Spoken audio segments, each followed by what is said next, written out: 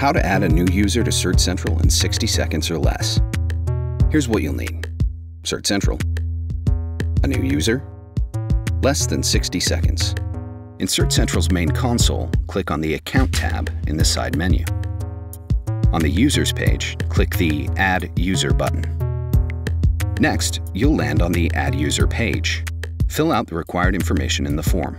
There are four user roles you can choose from to assign to your new user. CertCentral allows you to configure your users with SAML, an industry best practice.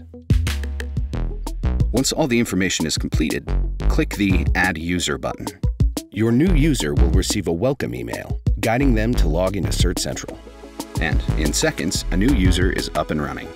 Pretty easy.